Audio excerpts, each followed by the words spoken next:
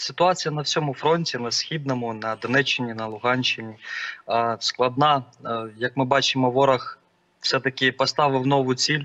До 24 числа хоче взяти Бахмут, знову, е, знову захопити.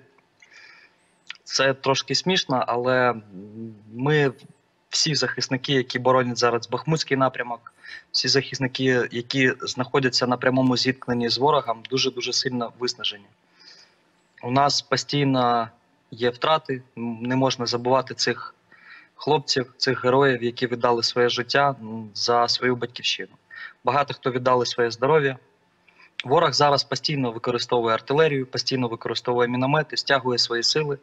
Тобто на самому Бахмутському напрямку зараз дуже складна ситуація з тим, що ворог накопичує свої сили, застос- застосовує авіацію, тобто військову авіацію, яка постійно скидує бомби, постійно літає, робить виліти, руйнує наші міста. Працює не тільки по Бахмуту, а й по більш е, таких маленьких містах. Тому ситуація дійсно складна. Євгенію, як вирішити проблему е, з вашим виснаженням? Ми е, розуміємо, так що зараз вам на вашій ділянці е, фронту найважче, вам, вашим побратимам. Ми вічно будемо пам'ятати тих, хто віддав своє життя за захист нашої країни, але виснаження це зараз може бути най, е, найгірший варіант розвитку подій. Чи все ж таки резерв, внутрішній резерв є?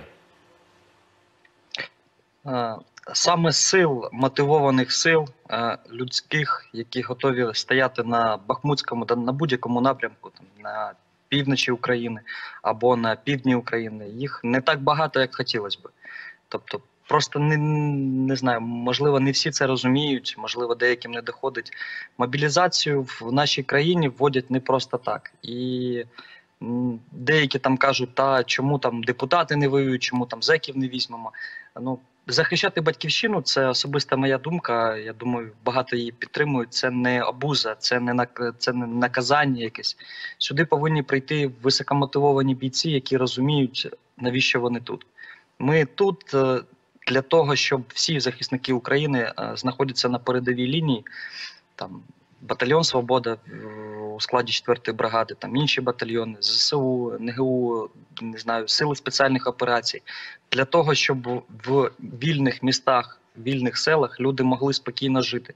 А для цього повинні, знаєте, бути адекватні захисники, які розуміють, що це не примус якийсь, і також наші зараз воєнкомати, які там силою тянуть людей е, і вручають повістки, також повинні з розумом підходити, що для того, щоб замінити бійців, які знаходяться тут, повинні. Не треба силою їх тягнути, треба їм роз'яснювати, що вам буде надано там навчання, що вас не кинуть як так як шматок м'яса чисто на передову. Тому я б хотів би зараз звернутися до всіх людей, які там отримали вже повістку, або можливо її отримують хлопці, дів, там дівчата навіть. Не думайте навіть, що вас кинуть як шматок м'яса. Ви обов'язково пройдете навчання, ви обов'язково будете потрібні своїй родині, е, своїй країні. Е, ви робите мега круту річ, і знаєте, як би це пафосно не звучало, але зараз ми живемо в такий час, коли захист батьківщини е, треба потрібно захистити батьківщину як ніколи в другий час. От зараз всі наші предки дивляться на нас і знаєте, з розумінням того, що такого часу не було ні в Першу, ні в Другу світову війну. Зараз ми відстоюємо своє право не тільки бути вільними, а й доказати всьому світу. А ми вже доказали, що ми вільні, ми незалежні і ми зможемо захистити нашу рідну Україну.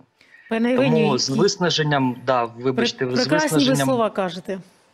З виснаженням на даний час ну, нічого не можна зробити. Багатьом була надана ротація, деякі бригади були трошки по покромсані. Треба відновлення, але зараз напередку знаходяться нереально круті воїни, якими варто пишатися, яким треба час від часу писати, згадувати про них частіше, тому що ці люди, які зараз знаходяться на передовій або готуються до виїзду на передовій, на передову, вони зараз творять історію. Творять історію, відстоюють свої свої кордони, свої рідні землі, які були дані нам нашими предками. Тому, будь ласка, не забувайте їх. Частіше пишіть, частіше згадуйте всім військовим. Це зараз дуже потрібно. Частіше треба додати допомагайте, тому що варіантів для допомоги абсолютно немало. Від кожної гривні до кілька сотень гривень, і кожен новий день нас закликає це робити.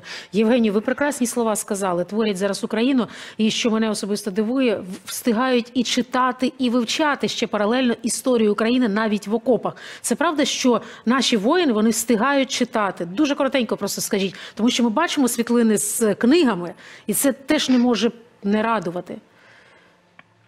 Ви знаєте, насправді дуже складно, е, коли ти знаходишся на передовій, в тебе е, частина мозку не працює майже. І щоб, знаєте, повністю не перетворитися в якогось хижака, коли тебе не працює гіпоталамус, то все-таки доводиться якось переключатися і знову включати в собі не тільки інстинкти, а й ще й мозок е, людини. Тому більшість ну є багато військовослужбовців не в самих окопах. Тобто в окопах Зрозуміло, люди, так. на Ну жаль, зрозуміло, да, да.